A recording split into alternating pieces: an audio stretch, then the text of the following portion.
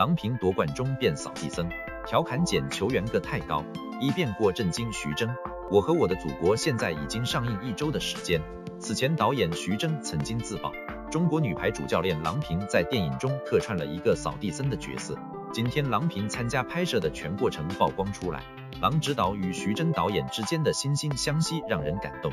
就因为电影采取的是一九八四年，所以郎平没有办法出现，只能在后面演一个捡球员。郎导马上幽默调侃道：“你这捡球员身材可是有点高啊！”把在场的工作人员逗得哈哈大笑。